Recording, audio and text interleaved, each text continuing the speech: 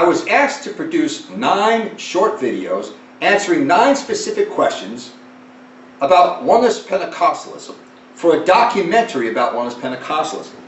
The first question I was asked was, what would you say to those who doubt your salvation? Well, I would quote the words of the Apostle John in 1 John 4.13.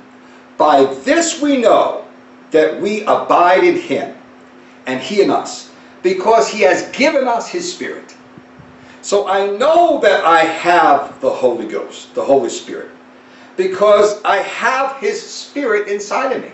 Like I said in a past video, I, when I received the baptism, infilling, gift of the Holy Spirit, just like on the day of Pentecost in Acts 2, 1 through 4, I felt like fire in my chest. I felt like fire on my head. I felt this tingling, anointed spirit inside of me and all over my body.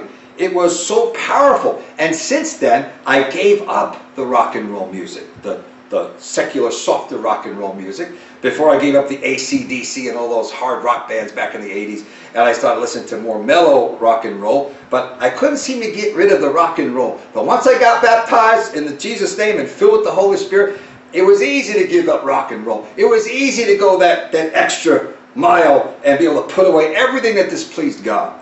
And it was easy to pray for hours on end. I built up to an hour in prayer and it became easy. When I was a Southern Baptist, I couldn't pray that long. I couldn't think of another thing to pray for. Because the anointing that I received of Him, the Holy Spirit that I have received of Him, enables me to pray, enables me to witness, enables me to memorize Scripture, and gives me anointing so I can properly, rightly divide the word of truth.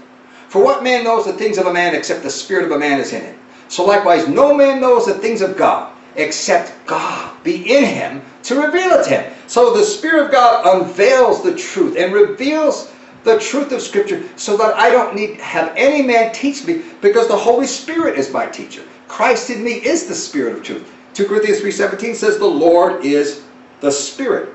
So anyone who would doubt my salvation, well, you're wrong.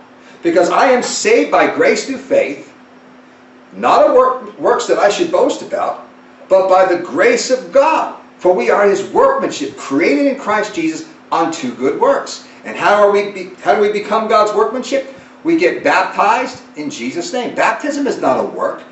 Colossians 2 says, verse 12 says, we are buried with him in baptism, wherein also we are risen with him, with Jesus in baptism, through the faith of the working of God. Baptism is not the working of men. If anybody is working, it's the pastor or his designee that baptizes you. You submit to baptism.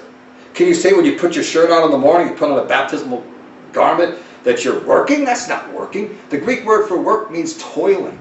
That's not the context of works. Works is talking about the works of the law and, and doing things. If you want to say work is doing anything, if you say this sinner's prayer, I confess you as my Lord and Savior, I accept you in my heart, you're doing something, okay? So that's, you could consider that a work too then.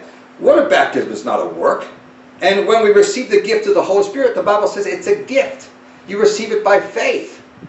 Whatever we believe for God, we, we have to accept it by faith. So we believe that we receive it and we shall have it.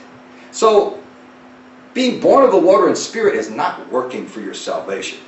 So those who doubt my salvation, all I can say is, uh, I know that I know that I know in my knower that I have the Spirit of God and I've been saved by grace through faith through the blood of Jesus Christ by believing in His name, having faith in His name, by being water baptized, buried with Him in baptism, where I'm risen with Him, identifying with the death, the burial, and resurrection of Jesus Christ, which is the gospel in a nutshell. You read Romans chapter 6, verses 1 through 7, where baptizing was death, that we might also be in the likeness of His resurrection. If we're not baptized into Jesus Christ's death, then we're not baptized in order to be risen with Christ into the likeness of His resurrection. And how are we going to be saved if we're not baptized into Christ's death, burial, and resurrection? God bless you all in Jesus' name.